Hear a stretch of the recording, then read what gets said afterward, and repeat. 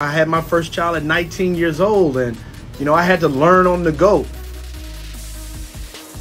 Now, when when we talk about you know being a being a good dad, um, we know that there are a lot of bad parents out there, bad dads out there, uh, but it's never too late. Absolutely All right, it's never not. too late too, too late to, to, to make it right. You know, I have an older daughter uh, who's 19 years old, going on 20. Uh, she's in college now. She didn't grow up in my home with me.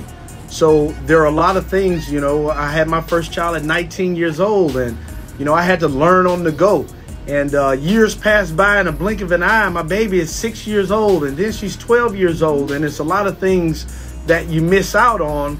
And when your kids get older, you don't think they remember, but they remember little specks of you not being there and they compartmentalize that in their own way in their own Yeah. way and sometimes they kids lash out and uh, i was embarrassed for going you know weeks at a time without speaking to my child. Or sometimes it was a month because the time just passed so uh, fast. And as a parent it's embarrassing.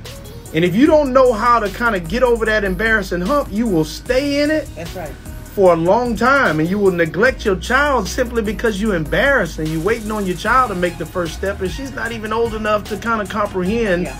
A parent not being in their life. So parents who didn't do the right thing and that hey time is still if time is available to you there's still opportunity for you to make it right. Take that first step if they were in, a, in a situation where they had neglected their child